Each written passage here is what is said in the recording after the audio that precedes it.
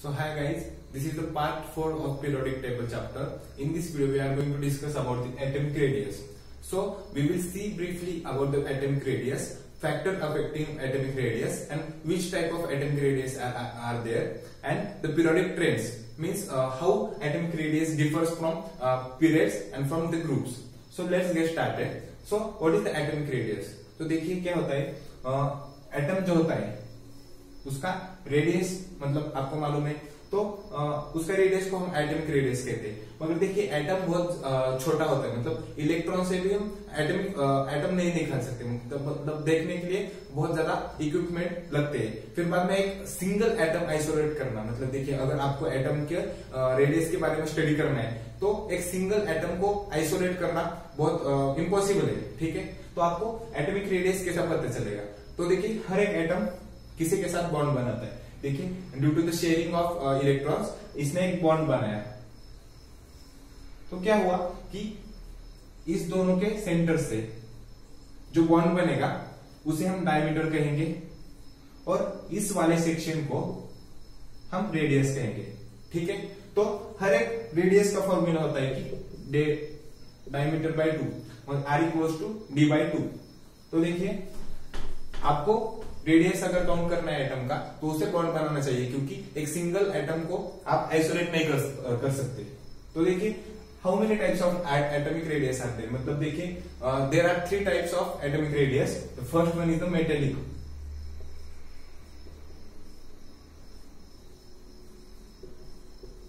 one is covalent.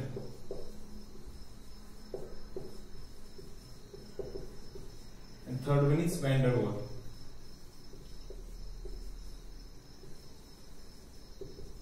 तो देखिए metallic radius covalent radius और वैंडरवॉल्स रेडियस तो इसका इंपॉर्टेंट क्या है कि बहुत सारे बार बहुत बार आपके प्रीवियस क्वेश्चंस में इसका मतलब पूछा गया है कि कौन सा रेडियस सबसे ज़्यादा है और कौन सा कम है। तो इस वीडियो में आपको बताने वाला हूँ मतलब इस सेक्शन में कि रेडियस कौन सा बड़ा वाला है और कौन सा छोटा वाला है। तो देखिए मेटेलिक रेडियस क्या होता है?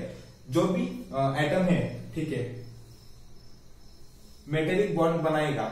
तो उस बॉन्ड का रेडियस आपको काउंट करना है उसे आप मेटेलिक रेडियस कहोगे ठीक है?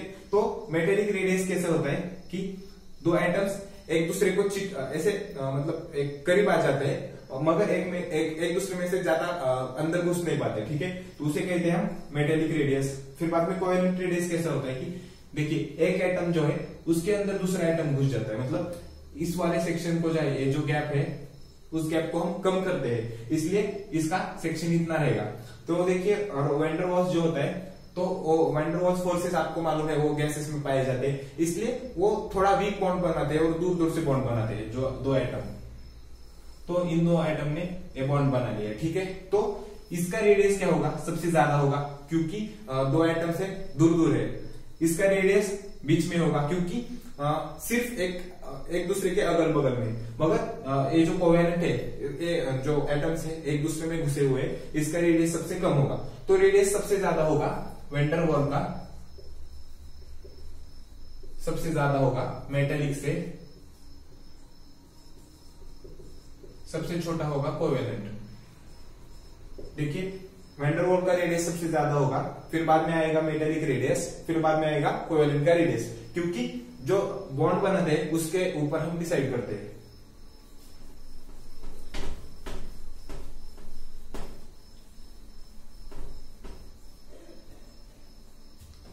तो देखिए, फिर बाद में हम देखते हैं कि factors affecting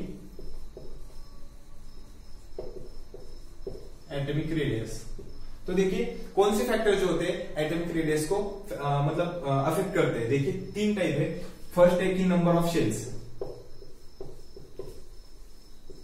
number of shells मतलब क्या होता है कि ये जो न्यूक्लियस है आपका ठीक है जो कि पॉजिटिव चार्ज है चार्ज है उसके आ, मतलब आजू बाजू में रेडियस होते हैं सॉरी शेल्स होते हैं या ऑर्बिट्स होते हैं जिस एटम के पास जितने ज़्यादा शेल्स या ऑर्बिट होके उसका रेडियस उतना बड़ा होगा। देखिए एक्स एटम है इसके पास दो शेल्स है ठीक है?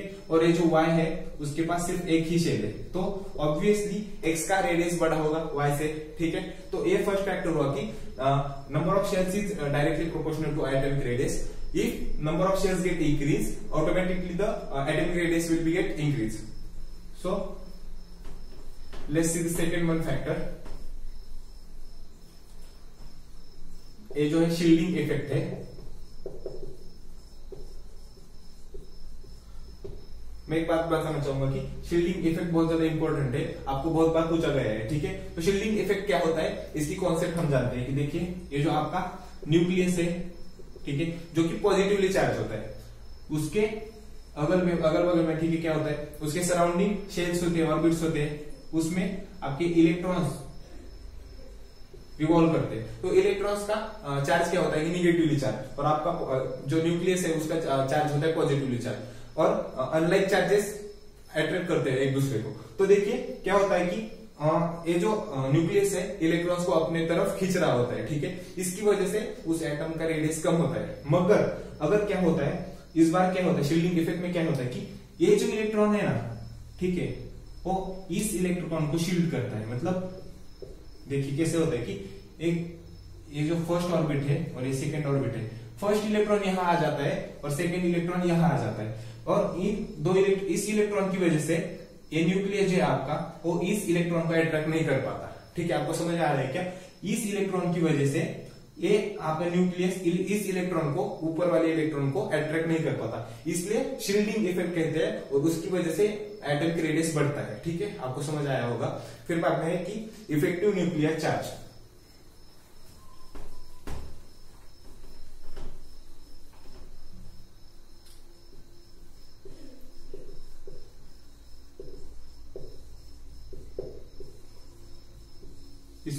जेड से डिनोट करते हैं। इसका फॉर्मूला भी है, मगर आपको कोई ज़्यादा काम का नहीं है। तो देखिए इफ़ेक्टिव न्यूक्लियर चार्ज होता है कि जो न्यूक्लियस है आपका, जो कि पॉजिटिवली चार्ज है, इसके ऊपर जितना बड़ा चार्ज होगा मतलब देखिए, जितना ज़्यादा पॉजिटिव होगा, उतना वो अपने इलेक्ट्रॉन्स को अट्रैक्ट कर पाएगा। ठीक है?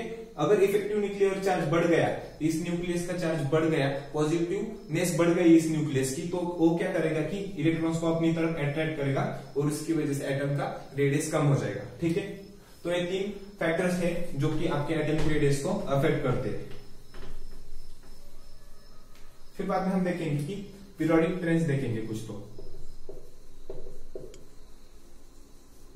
तो इससे आपको पहले बताना चाहूँगा कि देखिए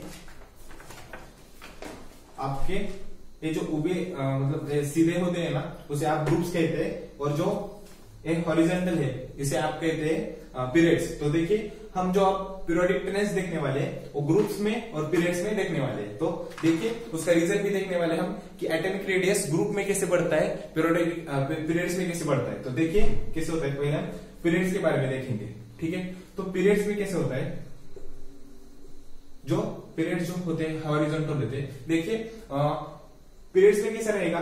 नंबर ऑफ़ शेल्स तो वही रहेंगे। देखिए नंबर ऑफ़ शेल्स तो वैसे कैसे रहेंगे? अगर आप डी ब्लॉक लेते हो ठीक है डी ब्लॉक लेते हो अगर आप मतलब देखिए इस डी ब्लॉक में आ, आपने ले लिया। तो उसका ऑर्बिट या शेल तो यही रहेगा। ठीक है? इसमें दस इलेक्ट्रॉन बैठेंगे।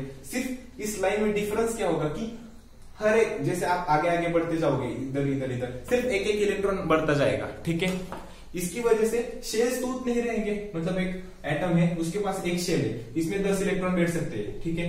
शेल्स तो उतने ही रहेंगे ना, आप जितना भी आगे चले जाओ शेल्स तो उतने ही रहेंगे इसलिए क्या रहेगा कि आपका एटमिक रेडियस क्या होगा? उतना ही रहेगा सेम होगा एटमिक रेडियस पे कुछ फ़र्क नहीं पड़ेगा पीरियड्स में। मगर मगर सेकेंड फैक्टर आ जाता है इधर की, आपका जो न्यूक्लियर चार्ज है मतलब इफ़ेक्टिव न्यूक्लियर चार्ज जैसे आप पीरियड्स में लेफ़्ट टू राइट जाते हो, ठीक है? पीरियड्स में आप जब लेफ़्ट टू राइट जाते हो, आपका इफ़ेक्टिव न्यूक्लियर चार्ज बढ़ जाता है, क्योंकि नंबर ऑफ़ प्रोटॉन्स बढ़ जाते हैं। हाँ एक प्रोटॉन बढ़ने पे एक ही इलेक्ट्रॉन बढ़ता है, मगर जो शील्डिंग इफ़ेक्ट है, यह ज़्यादा काम नहीं आता। इसलिए जब आप लेफ़्ट टू राइट जाते हो पीरियोडिक टेबल में इफ़ेक्टिव न्यूक्लियर चार्ज बढ़ता है, इसलिए आपका एटम रेडियस बढ़ता है। ठीक सॉरी कम होता है इफ़ेक्टिव न्यूक्लियर चार्ज बढ़ता है एटमिक रेडियस कम होता है तो इसमें क्वेश्चन आएगा कि देखिए, जब आप लेफ़्ट टू राइट जाते हो, तब आपका एटमिक रेडियस कम होता है. कम होता है, ठीक है? मतलब इफ़ेक्टिव न्यूक्लियर चार्ज बढ़ा एटमिक रेडियस कम हो गया. फिर जब हम एक एग्जांपल लेते हैं कौन सा एग्जांपल लू? हाँ.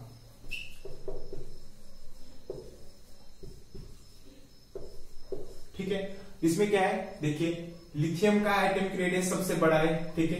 मैं इसे एक नंबर दे देता हूँ कि सिक्स है, इसका फाइव है, इसका फोर है, इसका थ्री है, इसका टू है, मगर इसका सेवन है, ठीक है? देखिए, इसका सेवन क्यों है? सॉरी सॉरी सॉरी फ्लोरीन का एक है और न्यून का सेवन है. इसका हाई क्यों है? क्योंकि ये जो न्यून है नोबल गैस है, और नोबल गैस में हम वेंडर फोर्सेस मतलब कैसे होता है कि नोबल गैसेस में वैंडरवॉल फोर्सेस रहेंगे और वैंडरवॉल का रेडियस सबसे बड़ा होता है। इसलिए जो नोबल गैसेस है वो एक्सेप्शन रहेंगे। बाकी, जब भी आप कैसे जाओगे कि देखिए लेफ़्ट टू राइट जाओगे, आपका रेडियस कम ही होता जाएगा। फिर बाद में हम देखते हैं कि ग्रुप्स में ए कैसे डिफर करता है। देखिए कौन सा? एटॉमिक रेडियस ग्रुप्स में कैसे डिफर करता है। जैसे आप ऊपर से नीचे आओगे, ठीक है? आपके नंबर ऑफ़ शेयर्स ऐड हो गए देखिए हाइड्रोजन है जो है वन एस रहेगा। मतलब देखिए हाइड्रोजन वन एस रहेगा। ठीक बाद में लिथियम जो है टू एस रहेगा। फिर बाद में एक शेयर तो ऐड हो गया ना? मतलब एक हाइड्रोजन ऐसा था लिथियम ऐसा हो गया ठीक है? तो ऐसे कुछ होने के बाद जैसे क्या होगा कि नंबर ऑफ़ शेयर्स बढ़ते जाएँगे आपका एटॉमिक रेडियस बढ़ जाएगा और आप, आपका एटॉमिक रेडियस नीचे जैसे जाओगे ऐसे बढ़ता जाएगा। ठीक है? तो इस वीडियो में इधर तक देखते हैं। अगले वीडियो में हम वेरिएशन इन पीरियोडिक टेबल देखेंगे।